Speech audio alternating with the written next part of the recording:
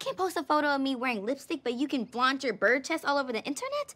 Uh-uh. Nope. Let's go. We've all got to have a talk. I had to come home and put out a fire with Diane. Oh no, wait, what happened now? She let a boy give her a sweatshirt. Okay.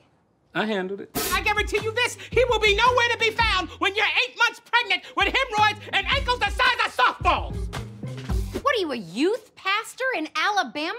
There is a reason that we talk about these things together. It was an emergency, and you should be thanking me. Dre, you just blew up all of the open lines of communication that we worked so hard to build with Diane.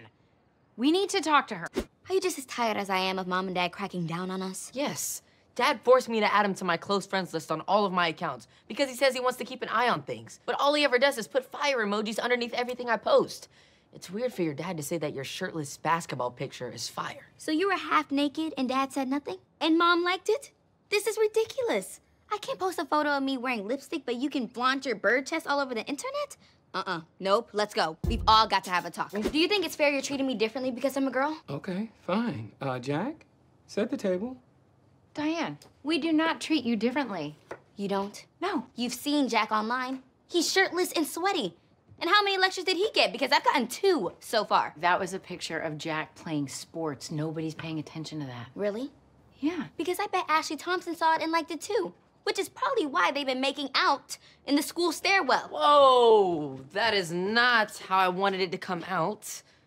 But it is true. My boy! But you don't know that because you're not in his business. We don't have to worry about Jack as much because he can't get pregnant. But he could get someone pregnant. You've always said you treat us the same, but you don't.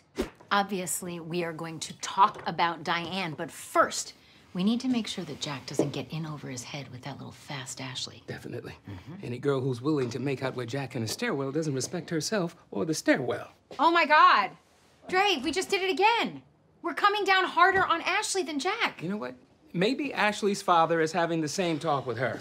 But he's probably not around because his daughter was kissing a guy in a stairwell. Dre. Look, I know I sound like a caveman. Yeah. But it is my job to protect Diane. And I'm not going to apologize for treating our son and daughter differently. Even if we treat them the same, the world is going to treat them differently. It's an unfair world. Diane's 15 years old. I don't want to dump all of this on her shoulders, but we need to prepare her for the world as it is, not the way we want it to be. I know it's hard being the mother of a daughter in a patriarchal world. Yes, I know some stuff.